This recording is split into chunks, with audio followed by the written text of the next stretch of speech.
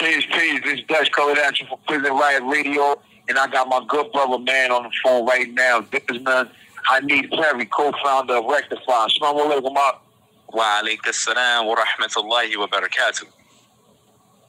Now it's good to have you on, man. Like like I said, we've been talking about this for a while, man, and, and everything that you got on the plate, man, is just like it's, it's just a blessing for real. So I want to get right into it. First off, when, uh, how long did you do uh, behind the behind the G wall? Yeah, man. So I did um twenty altogether. Uh, went in when I was eighteen. Uh, you know, got arrested when I was eighteen. Got when I was nineteen, and just got out at the age of thirty nine. Right, right. Home to the night. How long have you been home? So I've been home since May of 2022. Okay, okay. So right at about a year. Yeah, about a year altogether. Got you, got you. So let me let me ask you, during your time when you came when you when, you went to prison, were you already Muslim or did you learn about the deen on the inside? Oh man, alhamdulillah, man. Good question. So my story and journey to Islam started with my family. So my uncle, he was Muslim. Alhamdulillah, grew up in that household. All of his daughters wore hijab. You know, his sons made salat. And then as we got older, the streets took over. You know, naturally, and um, you know everybody got caught up into that. But um, I went to uh, the masjid a few times when I was a kid, you know, but I never accepted Islam. I never professed Shahada. I didn't profess Shahada until after my incarceration. And alhamdulillah, my brother had started giving me da'wah. And uh, that was it. You know, alhamdulillah, man, it touched my heart, man, and guided me to Islam. I was, uh, I think, 20 at the time. I just turned 20. Okay. And so, how how much of an impact did Islam have on you inside when it came to what what brought you through that those twenty years? Like, how did you make it through? What was the uh, strength? Man, brother, it was it was only it was only Allah Subhanahu wa Taala that brought me through that. Um, you know, I was in Maryland, man, in the Maryland House of Corrections Annex. Uh, right. man, I mean, its history is well known from the riot, you know, going on back in the century. I was in with, with life you know what I'm saying? It was a serious joint. So you came in, you know right. what I'm saying? First and foremost, you had to be stand up. You had to be a man. And um, so right. Islam helped me throughout that process to understand what manhood was. Because when I came in, right. you know, I didn't know. You know what I'm saying? I was young. You know, I thought I had a concept of what it meant to be a man, but I really didn't understand. Um, so alhamdulillah, that's the first right. thing Islam did for me, following the sunnah of the Prophet sallallahu alaihi wasallam and, and, and showing you know, his way, yeah, and the companions what manhood was. And then through my spirituality. So, you know, praying, fasting, you know, Ramadan, um, going through that, that process of cultivating myself every year, reading and studying uh, the book and, you know, learning. Um, I ended up becoming an educational Amir. Uh, I did that, and then I ended up becoming like what was considered to be back then before we knew better, assistant imam. And um, I did that for quite uh, some time as well. Right. Got you, got you. So when you touched down and you and you got into when you first touched, what was some of the first things that you did when you reestablished yourself on the street? Oh man, the first thing I did was went to the masjid. That's the first thing I did. I mean, all the years that I was in, you know, I would make dua to Allah. Uh, one of the brothers uh, that's well known, the brother Shadi Muhammad Hafidullah Ta'ala, I had read his book, He Came to Perfect Moral Character. And this was when it first came out. And I never forget, man, making right. that dua to Allah to get out, to go to the masjid, to make hajj, to make umrah, you know, to possibly, you know, go overseas and study and all of that. But the first thing I did, right. man, when I got, when I touched down was that morning for Fajr. I talked to my brother-in-law and I said, hey, man, uh, I need you to take me somewhere in the morning. He was like, okay, where you want to go? Uh, I want to go to mosque.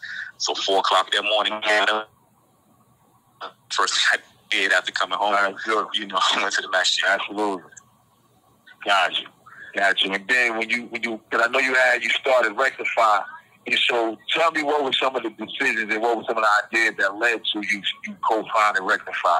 And tell us about oh, Rectify. Okay, yeah. So Rectify is a clinical reentry organization which specializes in trauma informed peer support and basically, what that means is is that we focus mainly on the inner first and foremost aspects of an individual returning from prison.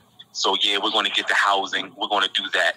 We're going to hook you up with programming and workforce development and help you get a job and training or whatever else that you may need.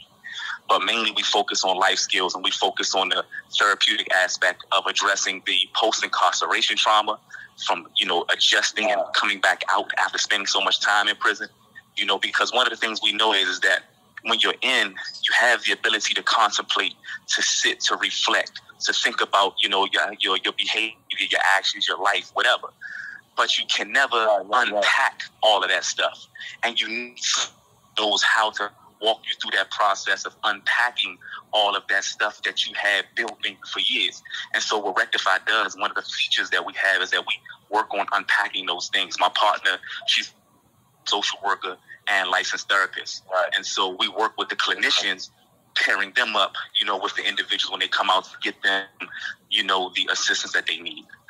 Um, also, we, you know, we uh, we have what is called peer support. So who better can be able to help an individual um, upon release than someone who actually went through it themselves?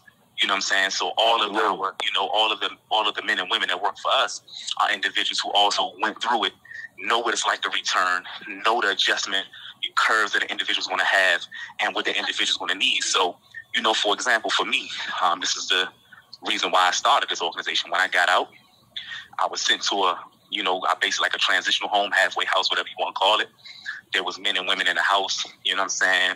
One young lady, she had her daughter in there. CPS came and told her she had to take her daughter out. You know what I'm saying? She couldn't be in there. And, you know, it was still like, you know, drug atmosphere. Um, you still had individuals who were there that, um, you know, were actually engaged in, you know, selling drugs. So imagine me coming home to that. You know what I'm saying? Right, right. It was it was tough. Gotcha. it was difficult. So right. I looked at it from the perspective of if I'm going to do it, we got to do it right. We got to bring a person home and put them in a safe environment first and foremost. We got to bring a person home right. and give them a chance to succeed as soon as they get out.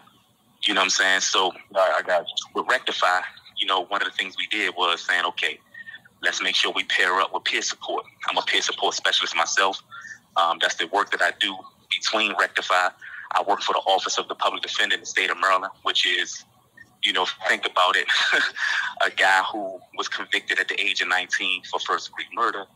And, you know, he gets out and now he's working for the state office of the public defender.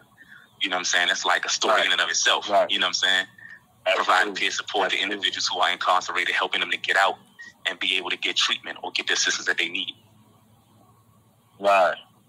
Absolutely, that is a blessing right there. And, and so you rectify primarily in Maryland, or so does it have any? So rectify right now, it is primarily a state, a state of Maryland organization uh, that focuses on um, helping individuals transition in the state of Maryland all over the state. But we are doing some training um, where we're helping also with training individuals who are incarcerated in other states doing the peer support. So we're trying to show that intervention placed in Americans' prisons right now. Um, we actually are working with uh, the NIDA and NIH, um, the National Institute of Drug um, Addiction, and the National Institute of Health. Uh, are supposed to be partnering right. with us really soon to start working on doing uh, research on peer intervention inside of incarceration incarceration settings. Oh wow! Okay and that's big. That's that's definitely big because, like you said, being able to take that template and spread it all over the country, I think that's something that's missing. You know, focusing on that trauma because a lot of times we, we do look at the jobs and the housing, which is extremely important, but we forget the inner the, the inner workings of what's what's going on within our minds and spirits. So I definitely applaud you for that. What what are, what are some of the addresses and, and, and emails that the people can get in contact with you? So if anybody would like to get in contact with us, they can go out, go to our website first and foremost and just check us out. Um, it is rectifymd.org. Um, and they can go to either our info um, uh, uh, email, which is info at rectifymd.org, or they can hit me up or hit my partner up on our emails. We'll respond back immediately. Um, my email is dperry at rectifymd.org and my partner Catherine Abrams, hers is C Abrams at rectifymd.org. And um, if anybody would like to get in contact with us, they can get in contact with us that way, or they can call our number. You know, um, the number is 410 uh, 656 uh, 4111. And, um, you know, those are the ways to get in contact with us. Um, we're always available. Uh, and the phone is never turned off because we understand the situation. You know, we have people call us Absolutely. all the time about their loved ones, you know, and trying to get their loved ones, you know, into a situation to get ready to return or trying to see whatever help and support we can give them. We also advocates as well. So we'll come to court. I mean, we do all this stuff, you know I'm saying? You know, not charging your loved one a thing. You know what I'm saying? Uh, we majority get our funding through donations and grants. Um, and, uh, you know, we're working on building a cafe uh, called Rectify Cafe, serving coffee for a cause. We're partnering with a brother in Des Moines, Iowa, who has his own coffee processing plant uh, called Coffee for a Cause. He only hires returning citizens. Oh, wow. His workforce is full of people that you know have returned, um, and uh, we're partnering with him to start doing you know pop up coffee shops, uh, a cafe, and we're going to do a coffee truck out here in Maryland. Oh wow, wow, that is that is neat. I love yeah. that, bro. Like like what you're saying is not only like I said, whether you have not only hit the ground running to assist yourself, but you use that assistance to parlay and helping others, bro, and that's definitely a blessing. And I think that you know you're going to go far with this. Like I can see the energy, I can see the passion, and I know that Allah is going to definitely bless you with the ability to is that and make sure other brothers can benefit from what you what you got going on. So let me say before we go out, what what are some of the things that you could tell somebody that is incarcerated or about to come home? What are some of the words of encouragement that you can leave them with? Well, first and foremost, I'll just say this, man, is that I always like to advise everybody to say, man, never give up. Never give up hope. Mm. You know, you're listening to an individual who truly, I am a walking example of what it means not to give up hope. Um, I was sentenced to life plus 15 years. Um, my my uh, appeal, uh, a direct appeal, was denied. Uh, my post conviction was denied, and it, you know, I kept fighting, you know, through the appeal courts. You have 60 seconds remaining. You know, reopen for post conviction. So I just say hope. Never give up hope. Never give up trust in Allah. You know, never give up hope. And keep on pushing, keep on striving. Absolutely. And and and do as much as you can while you're in it to better yourself. No doubt. Absolutely. I appreciate this, brother, man. And again, man, everybody out there, please reach out to the brother, reach out to Rectify, see if it's not if you're not in Maryland, see how I can be brought to your your, your neck of the woods. Again.